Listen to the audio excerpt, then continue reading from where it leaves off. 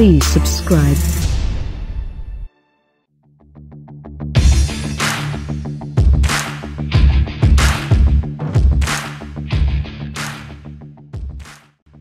The Mercedes-Benz S-Class Coupe is a pretty exclusive car in itself, and that's because you have to reach a certain level, or own a large number of cars, even to begin to think about a vehicle that's larger than most sedans out there, and yet only has two doors.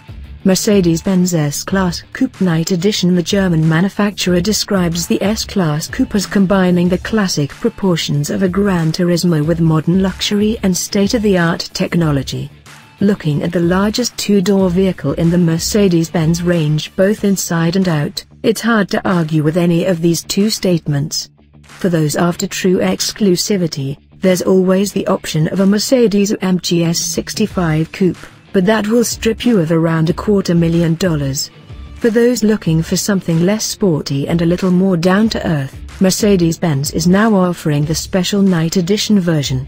By now, we mean April 2017 for Europe and August 2017 for the North American market, with the order book opening on January 9, 2017. Those interested will have a choice between three different powertrains ranging from 367 to 455 horsepower with rear or four-wheel drive. The Night Edition is available as an S400 4MATIC Coupe in Europe, an S500 550 Coupe, and an S500 554 Matic Coupe. A lot of high-gloss black elements will adorn the exterior of these vehicles, with the shiny dark surface covering the mirror housings and the inserts in the side sills, as well as the single louver crossing the distinctive radiator grille.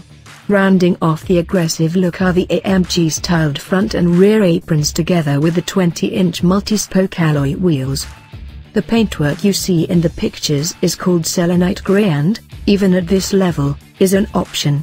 The same discreet approach was used inside the cabin where the choice between black, black or optionally crystal gray, black, saddle brown, black or Bengal red, black Nappa leather will give the car's wealthy clients the mother of all first world problems. Prices have not been disclosed yet, but with so many elements coming from the Designo manufacture range, expect them to be pretty steep. However, the night edition sounds like it has the kind of understated opulence you would expect from a very expensive Mercedes-Benz.